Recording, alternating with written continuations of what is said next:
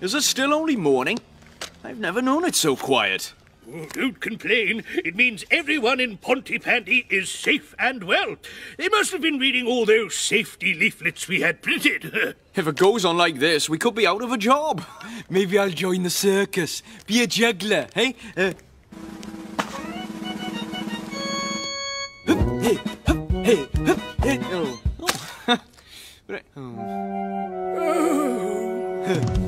Maybe not. hey, guess what?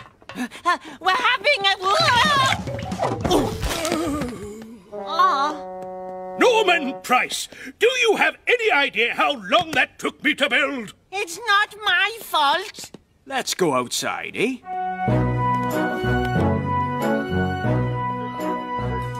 A firework party at your house, Mandy?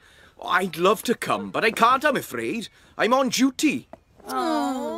And if you're having fireworks, you better read my safety leaflet. Hold on. Follow my top 10 tips and everything will go off with a bang.